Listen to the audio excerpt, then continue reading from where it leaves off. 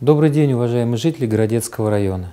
Сегодня, на 27 апреля текущего года, состояние э, с распространением коронавирусной инфекции на территории Городецкого района остается стабильным.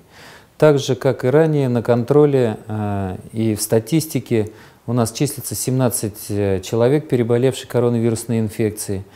А, в настоящее время наблюдаются ряд э, пациентов в э, Центральной районной больнице с диагнозом пневмония.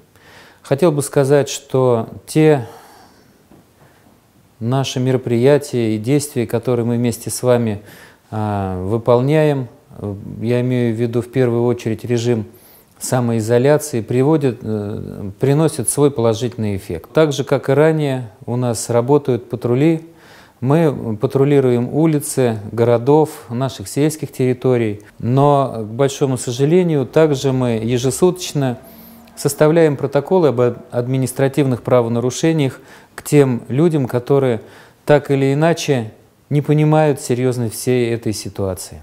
С целью соблюдения контроля а, на территории Городецкого муниципального района ежедневно, включая выходные дни, а, собирается штаб по нераспространению коронавирусной инфекции, на котором мы рассматриваем всю текущую ситуацию, а, помогаем а, нашим учреждениям, если это необходимо сделать, помогаем ЦРБ.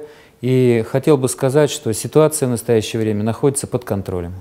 В преддверии майских праздников я еще раз хотел бы обратиться к вам, уважаемые жители Городецкого района.